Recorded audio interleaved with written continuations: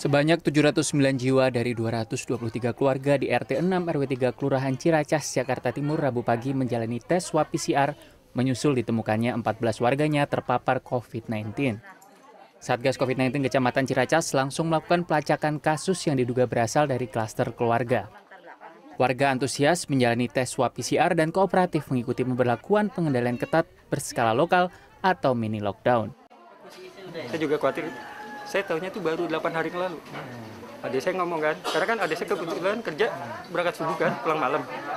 Dapat info karena akrab sama staf RT. Bilang, ah itu ada kena gitu, siapa yang kena gitu kan? Ternyata itu maaf ya, mereka tuh kelompok mancing. Pemberlakuan PKBL rencananya akan dilakukan selama 14 hari untuk seluruh warga yang menjalani isolasi mandiri. Camat Ciracas menyebut usai mendapatkan hasil tes swab PCR, pihaknya akan menggelar vaksinasi COVID-19.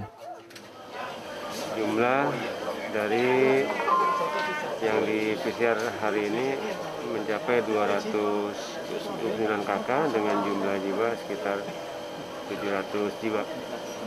Pak, banyaknya warga yang terkena otomatis wilayah ini di lockdown, Pak?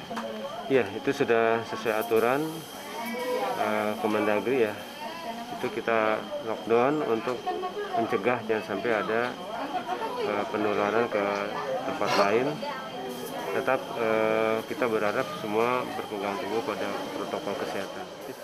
Satu RT di Ciracas ini langsung masuk zona merah COVID-19 yang diduga dari klaster keluarga bukan mudik lebaran. Saat ini, satu orang dirawat di RSKO Cibubur, satu orang dirawat di Rumah Sakit Melia, dan 12 orang di Wisma Atlet Kemayoran.